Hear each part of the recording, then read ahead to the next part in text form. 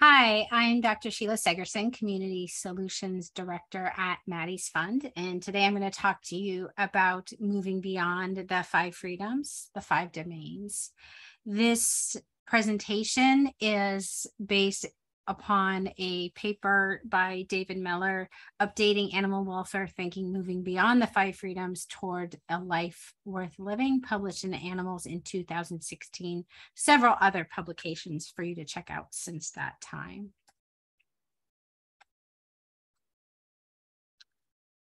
So let's start with a question. How do we know if an animal is experiencing adequate welfare? Historically, we use the five freedoms to assess animal welfare in the shelter environment. The five freedoms were developed in 1979 and they were originally developed for farm animals and the um, animal welfare movement adapted these five or didn't necessarily adapt them took up took on these five freedoms and we now use them for assessing welfare in animals and the five freedoms are great.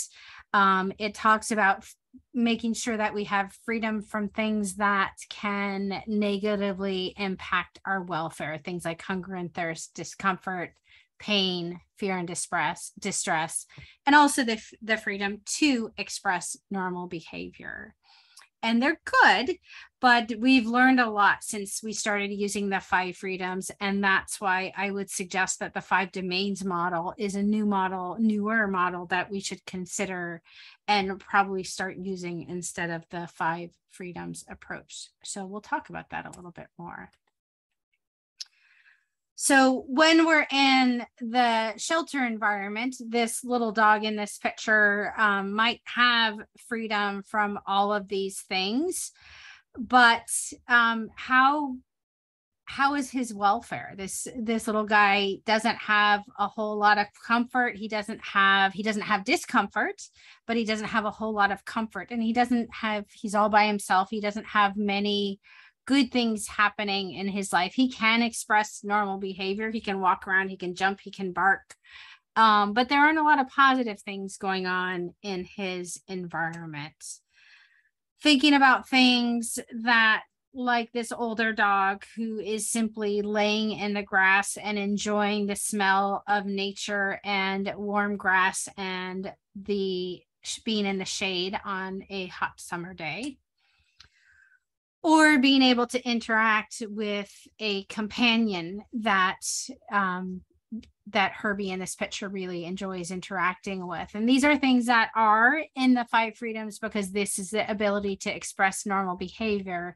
But the five domains focuses on these positive aspects of welfare a lot more in my eyes than the five domains. Um, the five domains does a lot more than the five freedoms did. Sorry if I said that wrong.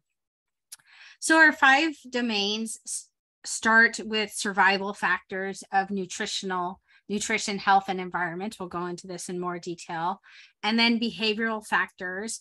And those four areas then produce our mental state or our psycho and our psychological well-being.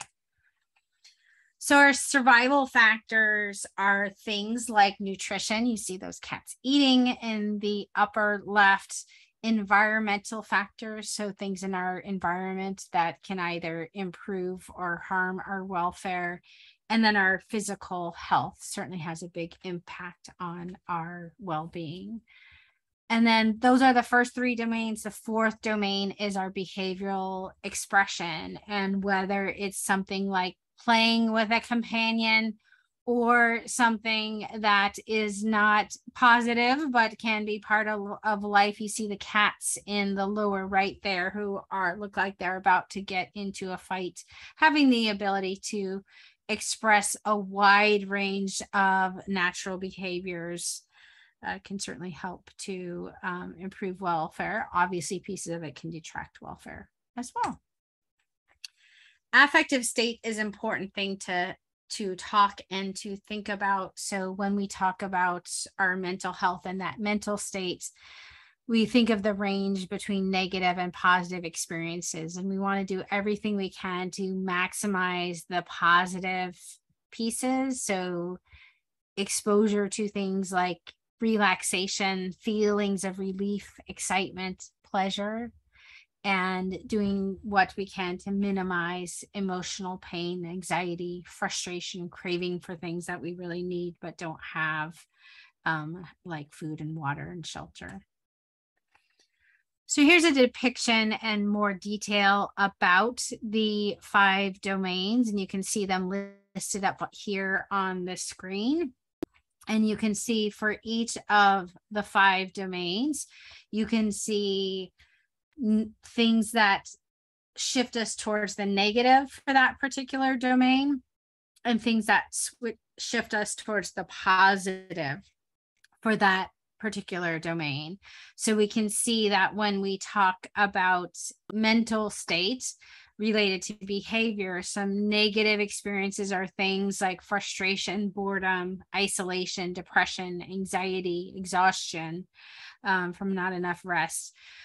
Whereas positive uh, mental states related to the behavior domain, calmness, engaging with our environment, sociable interaction, um, getting excited about something, being exposed to novel things. But being exposed to novel things can also be a negative for for animals who novel things scare them. So positives and negatives to everything. But the important piece is that these four domains of nutrition, environment, physical health, and behavior then produce our mental domain, which then conveys our welfare status. When we talk about welfare status, there's a balance of positive and negative. So you can see positive in the upper half here, negative in the lower half. And this is a graphic that I really like from zooaquarium.org.au that um, talks about the fact that during the course of our day, there's some negative things that happen, there's some positive things that happen. So, an unexpected noise might cause a bit of stress or discomfort, but then bonding or grooming with someone that we like um, is a positive experience.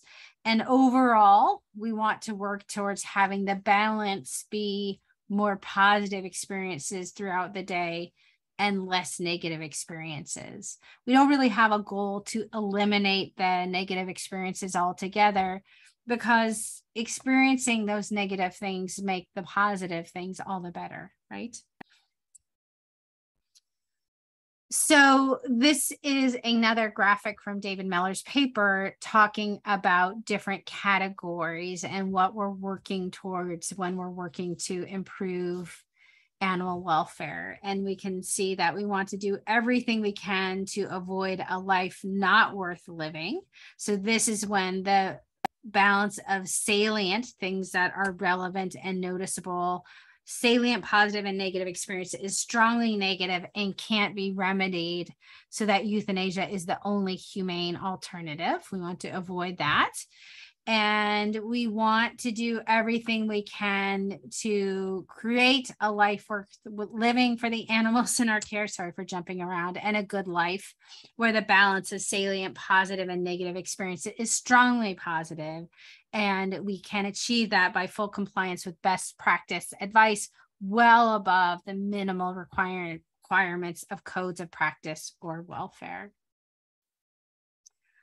so that's a brief overview of the five domains model. I hope you enjoyed hearing about it. And I just want to end with this graphic that reminds us that sometimes we have to experience the bad so that we can really learn to appreciate the good things that enter your life.